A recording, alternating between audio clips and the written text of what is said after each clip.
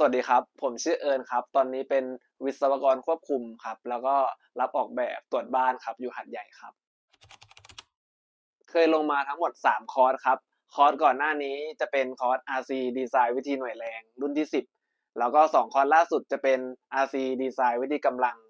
ตามกฎกระทรวงฉบับใหม่ รุ่นที่ 1 แล้วก็แก้ไขเสาเข็มเยื้องศูนย์รุ่นที่ 1 ครับ ได้ทบทวนความรู้ครับเกี่ยวกับการออกแบบบ้าน แล้วก็การแก้ไขเสาเข็มเยื้องศูนย์